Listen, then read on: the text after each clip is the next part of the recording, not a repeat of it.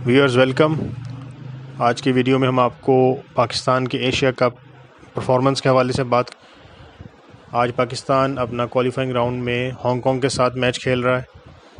And we are much hopeful कि पाकिस्तान अच्छे margin के साथ आज जीत कर फाइनल्स की तरफ़ अपनी पोजीशन को मज़ीद बेहतर करे।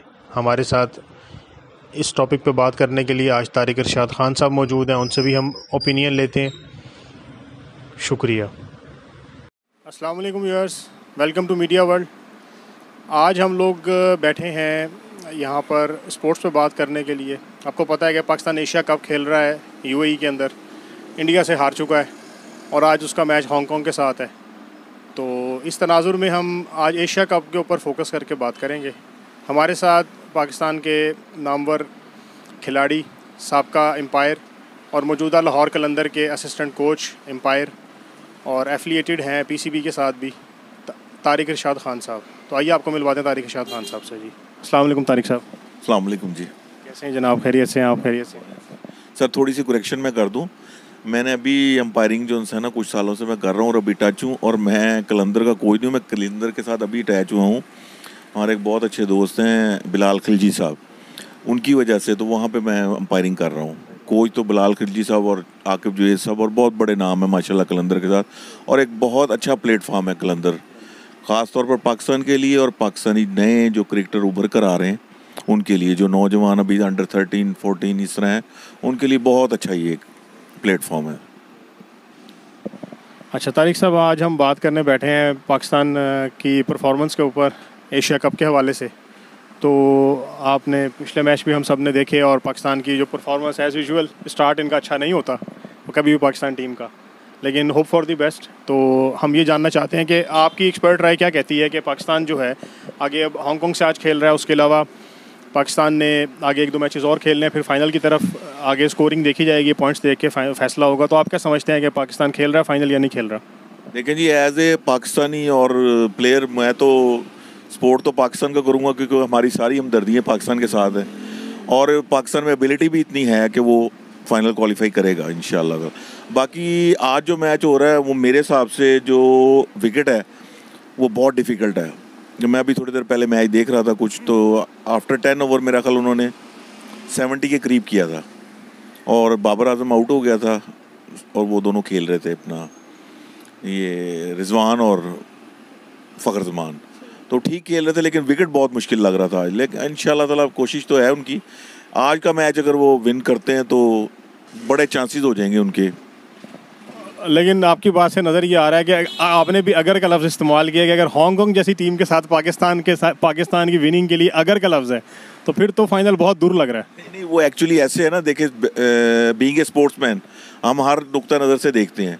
समझ रहे हैं? इसमें अब आफ्टर टेन ओवर सेवेंटी हुआ है। अगर ये हंड्रेड प्लस करते हैं तो फिर तो दी बेस्ट होगा स्कोर क्योंकि वो भी अच्छी टीम है अब भी क्वालिफाई करके आई है और बहुत अच्छा खेल रही है वो इवेंट अपना। तो उसके भी हैं लेकिन पाकिस्तान क्योंकि एक्सपीरियंस टीम है और बेटर है उनसे बहुत ज़्यादा तो मेरे हिसाब से उनको लूज़ नहीं करना चाहिए मैच कम अज़ कम हांगकॉन्ग से नहीं करना चाहिए। बाकी नहीं नहीं होप फॉर द बेस्ट कि आज पाकिस्तान जो है हांगकॉन्ग से मैच जीते। आ, तो आप क्या समझते हैं कि फाइनल में आप कौन सी टीमों को देख रहे हैं? स्कोर पॉइंट अगर देखा जाए स्कोर कार्ड के हवाले से और फर्दर पाकिस्तान को क्या आप रेकमेंड करते हैं कि बैटिंग में या बॉलिंग के अंदर क्या तब्दीलियाँ चाहिए पाकिस्तान को? सर एक्चुअली जो है ना स्कोर कार्ड तो खैर बहुत अजीब सी सिचुएशन दे रहा है क्योंकि इस वक्त अफ़गानिस्तान बहुत अला खेल रहा है। नो डाउट कि वो बहुत परफेक्ट खेल रहे हैं और उमर गुल साहब मेरा ख्याल उनके आजकल कोच हैं और वो, माशाल्लाह उनकी बॉलिंग में बड़ी इंप्रूवमेंट आई है। और इंडिया तो खैर गेम से अगर देखें, मैं, अगर उसका मुआजना करें हम तो गेंद में वो वाकई बहुत आगे हैं। लेकिन ये है कि hope for the best for Pakistan क्योंकि हमारी हमदर्दी है और लगाओ तो यही है ना कि पाकिस्तान फाइनल तो खेले। बाकी अगर इंडिया से खेलेगा तो बहुत कांटेदार होगा। अगर मेरा मतलब है कि किसी और से भी होगा तो हमारी तो ख्वाहिश है कि पाकिस्तान ही जीते। लेकिन यह कि ज़्यादा बेटर होगा अबू धाबी या दुबई में जहाँ भी होगा कि जी वो अगर पाकिस्तान और इंडिया खेले तो बहुत आउट क्लास होगा। अब देखें जी बिंग पाकिस्तानी तो हम सबकी ख्वाहिश है कि पाकिस्तान जाए फाइनल में और फाइनल खेले। और स्पेशली विद इंडिया अगर इंडिया के साथ पाकिस्तान आता है फाइनल में तो बहुत अच्छी एक कंपटीशन देखने में हमें मिलेगा। लेकिन स्कोर कार्ड भी जो है पाकिस्तान को उस तरफ़ रेकमेंड नहीं कर रहा, उस तरफ़ पॉजिटिव साइंस नहीं है। और प्लस आज का मैच भी आप जैसे बता रहे हैं कि दस ओवर में ओनली सेवेंटी तो ये मतलब फिर अफ़गानिस्तान भी पूरी टक्कर की टीम है इस वक्त। और भी टीमें मतलब अच्छा खेल रही हैं। आप देखिए, श्रीलंका ने बहुत अच्छा बहुत अच्छा परफॉर्म किया पूरी सीरीज़ के अंदर। तो आ, कितने चांस कितने परसेंट चांसेस आप कहते हैं? कितने परसेंट आप समझते हैं कि पाकिस्तान खेलेगा? सर मेरा आइडिया है कि 40 परसेंट मेरा है कि पाकिस्तान खेल जाएगा। लेकिन यह कि उनको मार्जिन देना पड़ेगा सारा कैलकुलेशन के हिसाब से आना पड़ेगा क्योंकि एक मैच लूज़ करना है। अब देखें कल श्रीलंका खेला है।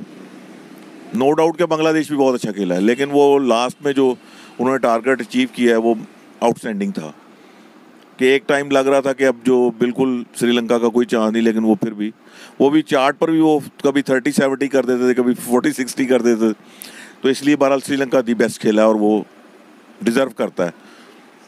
वैसे भी तो उसने मैच लूज़ भी किए हैं, लेकिन ये है कि बहरहाल कल वो बहुत बेटर खेला है। और इसी तरह we hope for best Pak to Pakistan के अगर वो अगर अच्छा नहीं खेलेंगे तो बड़ी मायूसी होगी, खासतौर पे पाकिस्तानी कौम को बड़ी मायूसी होगी।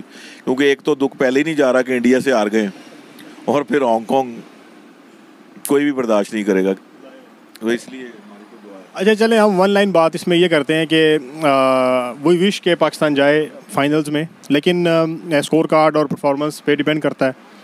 डेफिनेटली बाकी टीम्स भी जो हैं वो बहुत टफ टाइम दे रही हैं। हर हर टीम जो है वो टक्कर की टीम अच्छा मुकाबला कर रही है। कंपटीशन अच्छा देखने में मिल रहा है। India already I think qualify कर चुका है। और अब पीछे सुपर फोर में है।